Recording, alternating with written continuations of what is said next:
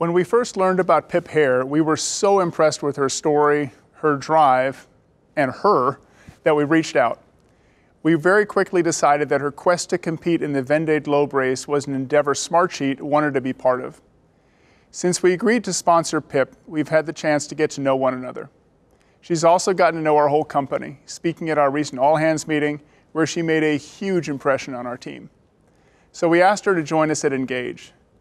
The word inspiration gets thrown around a lot these days, but Pip is the real deal. She's joining us from her boat somewhere off the coast in the UK. Hi, Pip. How are you? Hi, Mark. I'm really good. Thank you for inviting me to uh, join Engage. Yeah. Hey, we saw a little bit about the uh, Vendée Globe Challenge in the video, but tell us more about the race and why you cho- chose to take on this challenge. I have been obsessed with the Vendée Globe race since I read about it in my team because I think quite simply it's one of the toughest sporting events that exists on the planet. It's three months of solid performance at every level. It's mental performance, it's physical performance, it's emotional resilience. And to stay on single handed non-stop around the globe was something I've always wanted to do. Um, and I'm really, really happy to be making it happen this year. And when we spoke a few weeks ago, you were showing me some things that you do on the boat to stay safe. And one of those really struck me. Let's, let's take a look at that snippet in that conversation, and we'll talk more after that clip. Yeah, so I wear I wear a life jacket and I have a tether and, and the tether is attaching me to the boat. Uh, and I use a short and a long tethering system and most of the time I will choose to be on a short tether because if you get washed by the waves on a short tether, uh, well if you're on a long tether potentially you could still sort of end up outside the boat, attached to it but outside it. Um, there are some times when I just physically can't clip on because I have to move about the boat so quickly it's not practical. But in my experience, the times really when you are at most risk are the times when you think you are most safe. So if I'm not clipped on and I'm doing a job, uh, I'm very aware of that risk and I, you know, I mitigate through my actions. Um, but the times when I'm really fastidious about clipping on are when, for example, I'm dozing in the cockpit. Uh, and you think, well, this is fine. It's a nice, safe, secure environment. What struck me about that was the idea that it's when you feel the most safe, you feel the need to be the most careful. Yeah, it, it's true. It, it, it's kind of, I guess, one of the ways I, I explain it is that when you spend so much time on the boat and the environment is changing all the time, your definition of normal changes. And so the first time I get into a massive Southern Ocean storm, I will be scared and I will be super, super careful. But after I'm in my fifth one and I've been in there for a month, it feels normal. And that's really when I have to look after myself. It's complacency, I guess. And, and in our business, Pip, you know, redundancy is a very important feature. And I recall you telling me about some of the choices and trade offs you've had to make between redundancy and inefficiency. Only taking the things that I need, not what I want. Uh, we're just thinking all the time about minimizing the weight and the volume of things that I can take.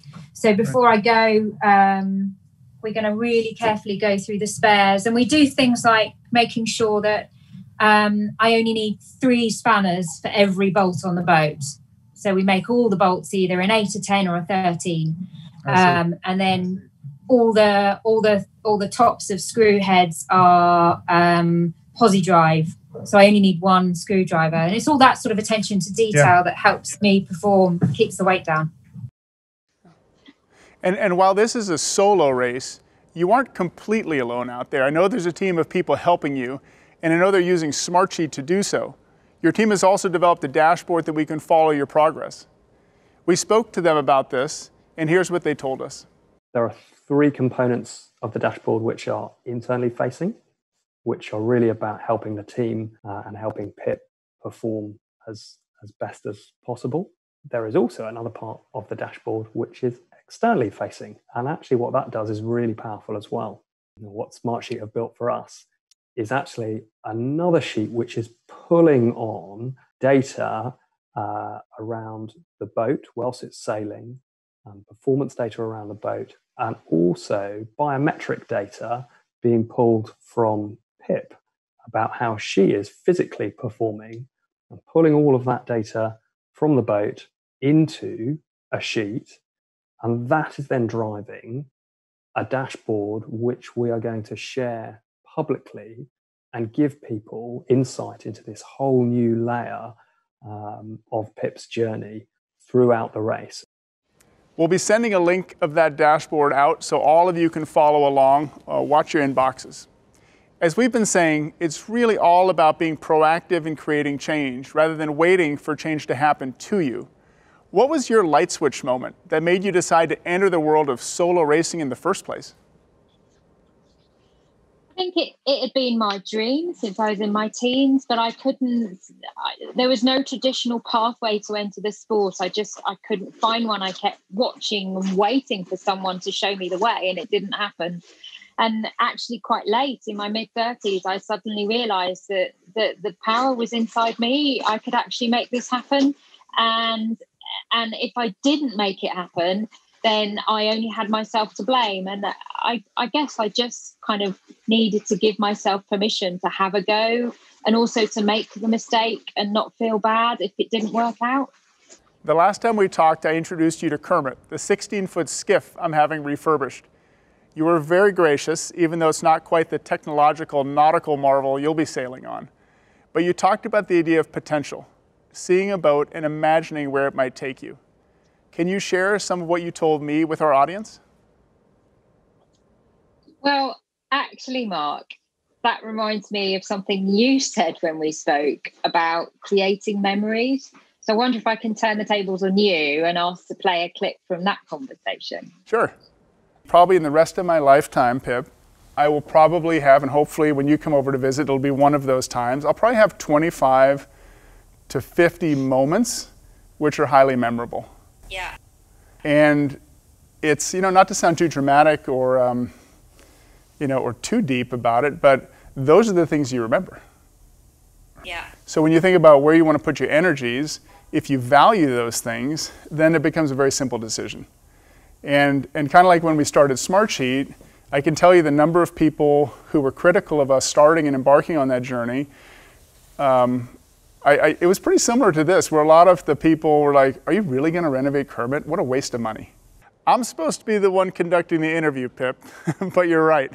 I'm sure you've had plenty of naysayers or people who've told you you can't or you shouldn't do something. How do you deal with that?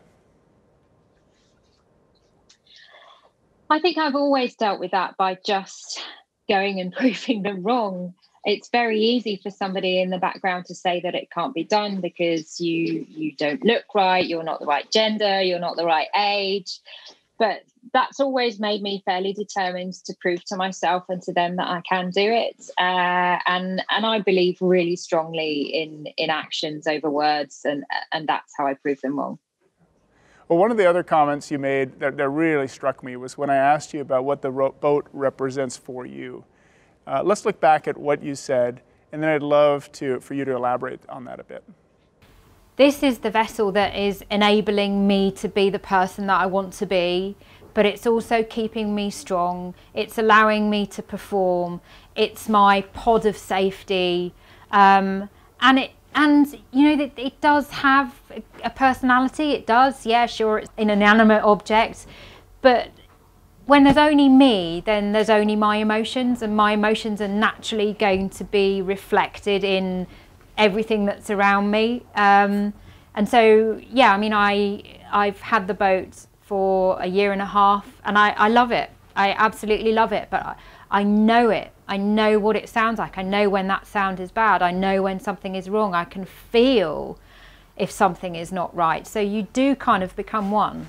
Well, yeah, I mean, it, it means all of that, and, and and sitting in the boat now, talking to you now, is is really special because I can, you know, share some of some of it.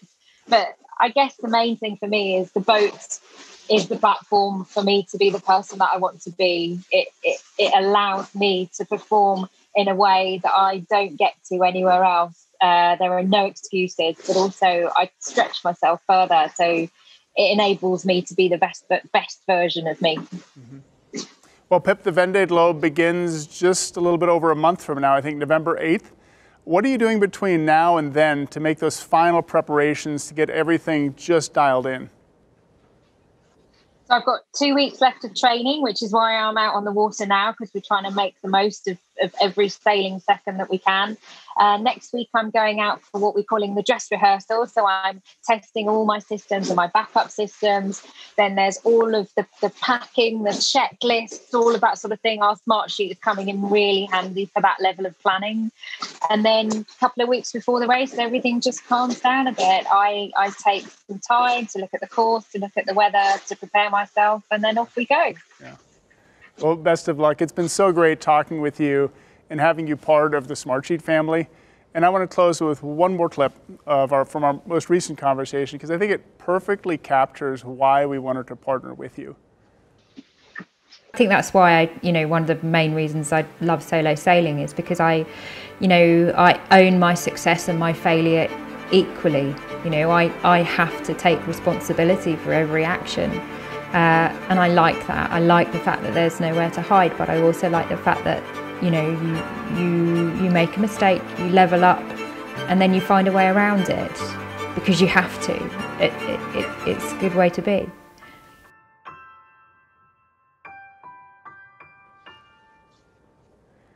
So i think that pretty much says it all. Pip thanks for joining us and for inspiring us. We're going to be watching you and cheering you on and thank you. Bye everyone